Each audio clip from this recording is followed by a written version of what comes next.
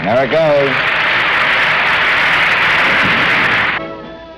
The stretch produced an amazing finish by Billy Mills. And here we go in the final lap for the gold medal in the 10,000 meter. And up front is Bill Mills. He's pressing Ron Clarke, the world champion. Bill Mills in the United States, number 722, is leading Ron Clarke. And in third place right now is Mahout Gammoudi of Tunis. A tremendous upset if Bill Mills can hang on. But Gammoudi goes out ahead as Gammoudi right now leading in the 10,000 meter. Ron Clarke is third. Rather, Bill Mills is in third. Ron Clarke is in second right now. This is the final lap for the 10,000 meter. The unheralded Mahout Gammoudi of Tunis is putting on a tremendous sprint. He's out ahead of Ron Clarke. Bill Mills, the United States, is in third place.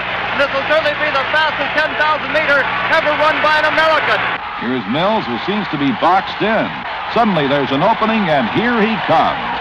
Here they come down the final lap. Can Ron Clarke catch Gammoudi? They're going through the field. He's coming up. He's passing Gammoudi. Look at Neck. Look at Mills! Look at Mills! Coming on. Mills is coming on. Oh!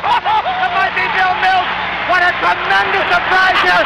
Bill Mills of the United States wins the 10,000 meters.